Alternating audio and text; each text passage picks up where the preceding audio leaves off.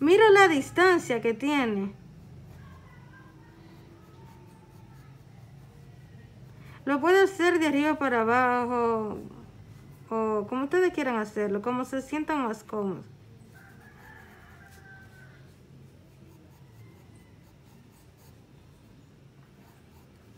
Si está mal, ustedes lo borran. Todos los problemas en el dibujo lo pueden solucionar con, con el borrador. Siempre... Eh, ¿Qué tengo el borrador, por favor? Todo lo pueden solucionar con, con el borrador. Por ejemplo, si está mal, ustedes lo tienen que mejorar. Después que ustedes hacen la cuadrícula, eh, eh, hacen los dibujos siguiendo los cuadros. Este, le borran la... Bueno, cuando esté muy rápido así no puedo dibujar.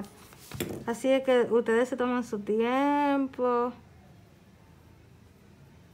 Bueno, pero yo tengo que hacerlo por ustedes. Porque ese es mi reto.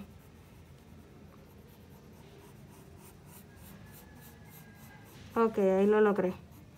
Entonces ustedes lo van a lograr. Eh, van a ver en qué posición está. Eh, por ejemplo, después ustedes le borran los cuadros, los números y le van a quedar los tres modelos. ¿Cuál es el correcto? Ok, sigan dibujando, miren la espalda.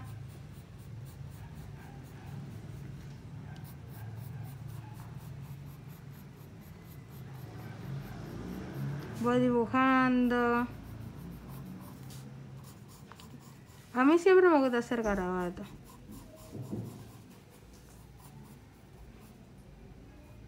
Miren, ¿qué? Y luego van a ir haciendo, formando.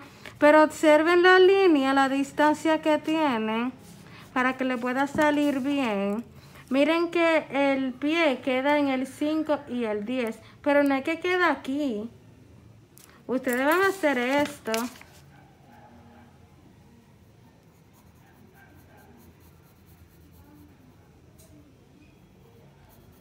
Los números no están en la misma posición. Bueno, aquí van a ir haciendo lo que... Entonces, así es que sigan el siguiente video. Después que ustedes terminen de hacer esto, van a pasar a conocer un pequeño video de la postura. Así es que vamos a retomar en el siguiente, la siguiente parte del video. Espero que te haya gustado.